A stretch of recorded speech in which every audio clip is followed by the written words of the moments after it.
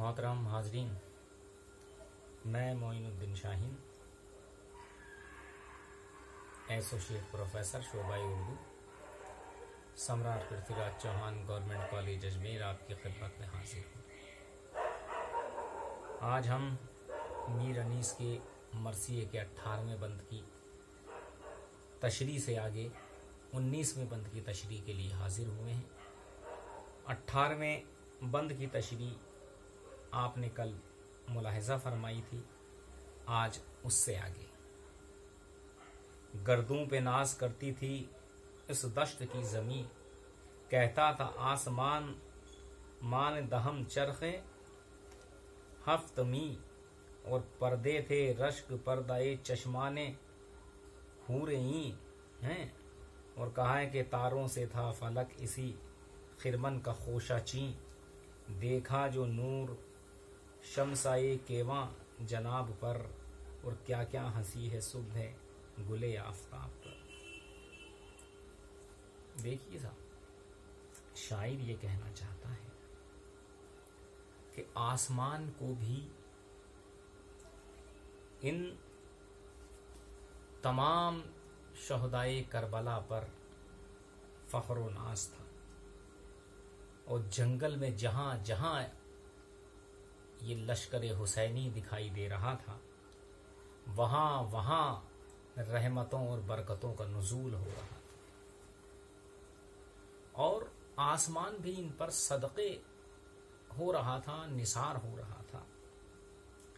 क्योंकि आसमान ने और एक आसमान ने सातों आसमान, सातों अफलाक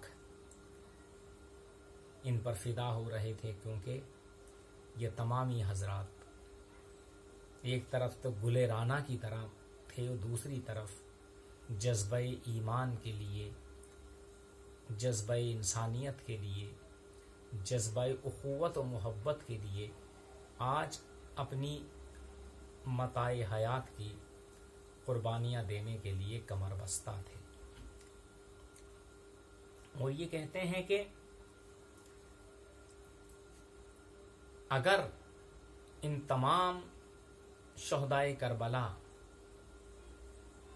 के चेहरों को जन्नत में बसने वाली हूरें भी देख लें तो वो भी मारे खजल के अपनी आँखों को बंद कर दें वो कहती थी कि इतनी तमाजत, इतनी रोशनी, इतना नूर, उन तमाम हजरात के चेहराए मुनवर पे मौजूद था जिसे देखकर हर किसी की आँखें चकाचौंध हो जाती थी। तो हूरों ने भी अपने आँखों पे पर्दा डाल लिया, या आँखें चुरा ली, क्योंकि वो उनका नसारा करने से कासिर थी। और कहते हैं कि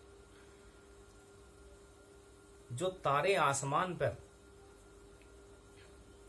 चमक दमक रहे थे पूरे फलक को रोशन और मुनव्वर किए हुए थे।